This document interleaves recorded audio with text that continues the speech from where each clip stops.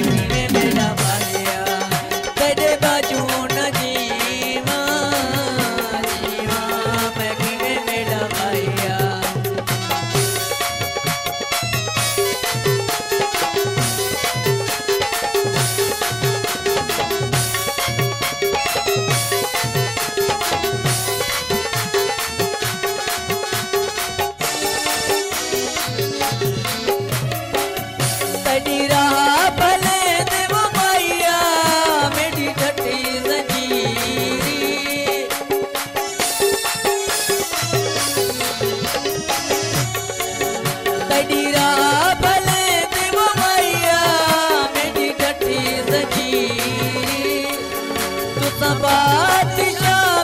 मैया सा बकीरी मैया